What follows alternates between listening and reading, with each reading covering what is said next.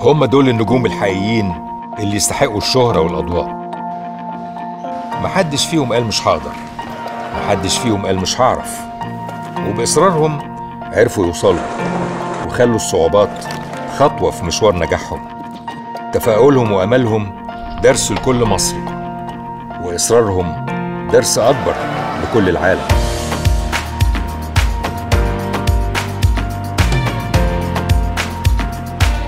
هم دول أبطال مصر في الأولمبياد الخاص. واللي هيشرفونا في الأولمبياد الخاص في النمسا 2017 هي دي صورة النجاح. هي دي صورة البطولة. هي دي صورة مصر اللي كلنا عاوزينها. صورة مصر المشرفة.